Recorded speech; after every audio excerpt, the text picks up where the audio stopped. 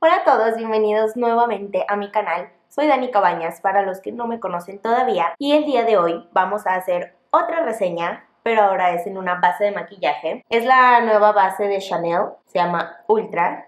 Para los que están un poquito más familiarizados con el maquillaje de Chanel, esta va a ser como el sustituto del Ultra Tenue. Entonces, esta se supone que es la versión mejorada, nueva. Vamos a ver qué tal, vamos a hacer check-ins durante el día. Como siempre, antes de empezar, les voy a leer tantito lo que se supone que hace esta base de maquillaje. Se llama Ultra Wear All Day Comfort Flawless Finish Foundation. Sobrepasa todos los límites, larga duración, confort y acabado perfecto natural. De alta perfección, unifica todos los tonos de piel y controla las zonas de brillos para una tez perfecta con un acabado mate luminoso durante 24 horas. Sensación de confort a lo largo del día, Complejo Perfect Skin incluye un filmógeno que se adapta perfectamente al contorno del rostro, resiste al agua, al sebo, a la práctica deportiva, calor y humedad.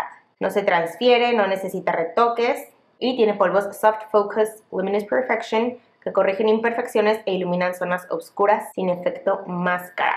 Probado dermatológicamente, no se transfiere, no comedogénico, oil free. Según eso hace demasiadas cosas, vamos a ponerlo a prueba. Viene obviamente en la cajita típica Chanel y esta es la base. Es vidrio con la tapita mate negra, tiene un pump muy lindo y viene con los 30 mililitros típicos de una base de maquillaje. La mía es en el tono BD21. Normalmente marcas un poquito más sofisticadas como esta tienen súper poquitos tonos. Y esta como que lo ampliaron un poquito más. No llega a ser nada como Fenty que sacó 8000 tonos ni nada.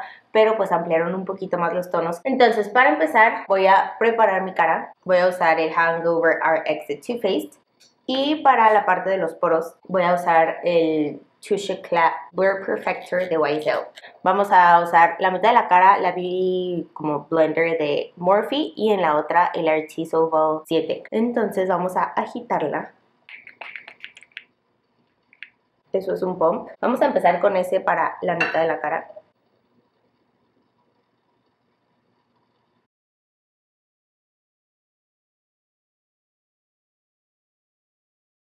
Mi primera impresión es que obviamente con una capa así ligerita no es cobertura alta, pero vamos a poner un poquito más y acá en la frente.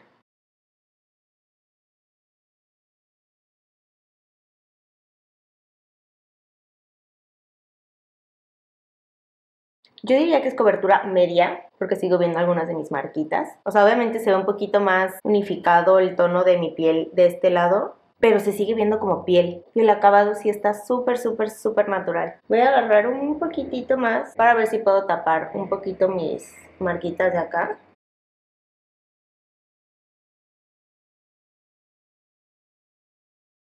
Ok, la fórmula definitivamente sí se puede ir subiendo la cobertura. Y ahora vamos con la brocha. Voy a poner otro pump Y de hecho sí está como bastante liquidita la, o sea, la base, no se siente muy pesada ni nada parecido.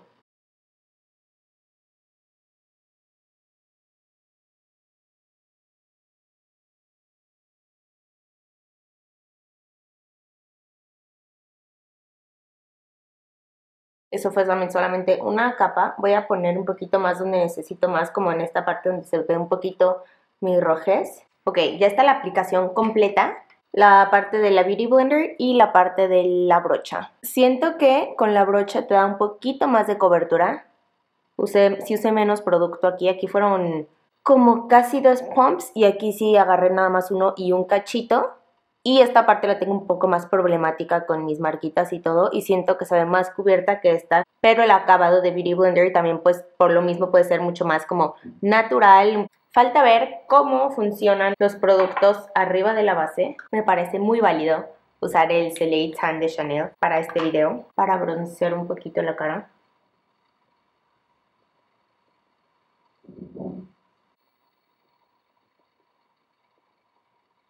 Se me hace que se ve súper natural y súper lindo este bronzer. ¡Tonta! Quería agarrar más bronzer y metí la esponja en el iluminador. No.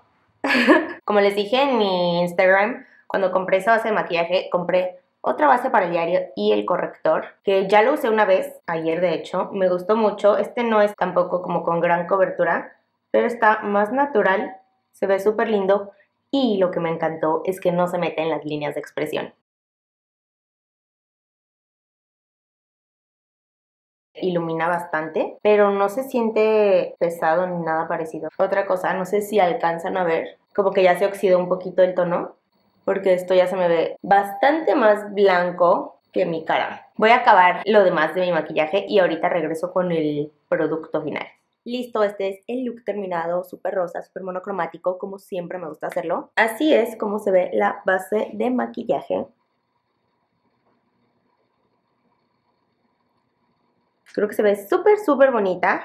Son las 12 del día. Y vamos a usarlo durante todo el día para ver cómo se va viendo, si se separa, si se queda lindo, etc. Y por si les interesa, a lo mejor no, a lo mejor sí. Para los ojos usé la paleta de Kylie en The Burgundy Palette y de los labios, que estoy obsesionada con este color. Hace que ya se ve súper primaveral. Es un lipstick de Chanel, está hermoso ese rosa. Se llama Rouge Allure Velvet 42. Y arriba le puse este gloss que es el Gloss 728. Súper lindo. Muy buen combo para primavera-verano. Pero bueno, voy a hacer muchas cosas ahorita en mi día. Y voy a hacer check-ins. ¿Dónde está mi anillo? Por eso lo pierdo, por eso siempre lo pierdo. Me lo quito, inconscientemente me lo quito y lo dejo en lugares y luego estoy como loca buscándolo. Ahorita tengo que ir a ver dónde está. Ok, voy a hacer check-ins con ustedes a lo largo del día y vamos viendo cómo está esta base de maquillaje. Es el primer check-in, son las 5.10 Así es como se ve a las 5 horas 10 minutos. O sea, me empezó a gustar todavía más la base en lo que iba transcurriendo el tiempo. Hoy está haciendo mucho calor. He salido a hacer algunas cositas que tenía que hacer. Dentro de todo creo que se ve bastante bien. Siento que me estoy empezando a poner un poquito brillosita aquí en esta parte, pero de todas formas todavía no es nada grave, no me voy a retocar ni a poner polvo ni nada para que puedan ver al final del día cómo va todo. También le pregunté a mi novio que qué opinaba de la base y me dijo que se veía muy bonita la piel, que se veía lisa, entonces yo quiero interpretar eso como que no se ha metido en líneas de expresión y que se ve como bien puesta. Entonces, ese también es otro plus. Son las 8.20, entonces ya van más de 8 horas. No traigo mi celular, pero... Eh, ah, bueno, confíen en mí, son las 8.20. Ok, lo primero que noto es mi frente. O sea, obviamente ya está un poquito brillosa, o sea, digo, son más de 8 horas de usarla. No se me hace nada mal. En la parte de aquí que les digo que es donde yo siempre me pongo súper brillosa, que es como alrededorcito de la nariz, eso sí ya se ve como un poquito más evidente, pero mi frente, a ver, es que no, no lo, no lo puedo creer. Vamos a ponernos muy personales. Quiero que alcancen a ver. Sí está como poquito brillosa, pero lo que más me trauma de mi cara es que Aquí tengo como líneas de hacer esto y no se metió la base de maquillaje ahí. Y cualquier base, cualquiera, siempre, siempre se me mete muchísimo ahí y tengo que estar como haciéndole así. Pero no tiene nada y se me ve la frente súper, súper lisa. A lo mejor eso es lo que me decía mi novio que yo no entendía. Entonces eso me tiene impresionada. Lo del brillo, sí está ahí. No está tan grave para la cantidad de horas. Un poquito aquí ya se separó el producto, pero siempre estoy recargada así todo el tiempo si estoy eh, viendo algo en la compu, si estoy comiendo, o sea, como que siempre hago esto, entonces eso es de esperarse, pero de todas formas no se me hace que esté súper notorio, al menos que me pegue el espejo aquí a la cara. Bien nada más también un poquito de separación del producto alrededor de la nariz, pero por ejemplo, para no haberme retocado, siento que de todas formas el producto, o sea, el bronzer, el blush y el iluminador siguen estando súper, súper bien arriba de la base. Y otra cosa, quiero que vean lo del corrector, o sea, no hay nada metido aquí, o sea, es como si no tuviera esas líneas de expresión y sí las tengo.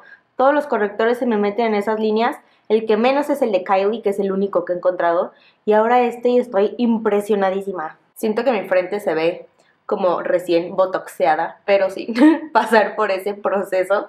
Voy a hacer un último check-in antes de desmaquillarme más al rato en la noche y les doy mis opiniones finales. Ahora sí, ya es el final del día. Son las 10 de la noche, así es como se ve ahorita. Sigo obviamente un poquito brillosa de esto, pero como les digo, no es nada tan grave. Voy a agarrar X, un Kleenex, para quitar tantito el exceso de grasa. No salió tampoco tanto como pensé. Y quiero ver cómo se ve si le ponemos un poquito de polvo. Este es de neutrógena y es para precisamente controlar el brillo. Entonces quiero poner nada más tantito en esas áreas. Y con eso, o sea, como que sí vuelve a verse lindo. Como les dije en el check-in pasado, donde sí ya se fue casi el producto, pues un poquito aquí y aquí alrededor de mi nariz, pero también les digo que yo soy súper propensa a estarme tocando aquí y la nariz como que rascarme y sonarme. Entonces eso también es mío, pero no es nada grave que se note muchísimo. También hice una prueba tomando fotos con flash para ver si había algún flashback que se viera blanco o algo. Y no, todo está bien. Ya para acabar esta reseña me gustó muchísimo. Si tienes piel grasa o piel mixta como yo, te puede servir yo creo que bastante porque sí controla bastante bien pues la grasa de tu cara, porque de hecho no usé un primer matificante, pero con todo y todo estuvo súper bien, se mantuvo muy bien durante 10 horas. Si tienes la piel un poquito más seca, yo creo que claro que la puedes hacer funcionar, nada más utilizando algo hidratante de base también, porque no se siente pesada, o sea, se siente súper ligerita y no se siente que traigas nada puesto. Sigue sin meterse en mis líneas de expresión, ni de la frente, ni de aquí abajo. Nada más, sí hay que tomar en cuenta eso, que sí se oxidó un poquito. Siento que ahorita ya no se ve la diferencia. Y otra cosa, pues el precio. Cuesta 1100, entonces es una base un poquito más cara de lo normal pero si tienen la posibilidad o quieren animarse y gastar un poquito en una base de maquillaje, se las súper recomiendo. Ahora sí, ya voy a ir a lavarme y quitarme todo el maquillaje de la cara. Pero gracias por estar aquí, por ver el video, espero que les haya servido y que haya sido informativo para ustedes para decidir y nos vemos en el siguiente video. Bye.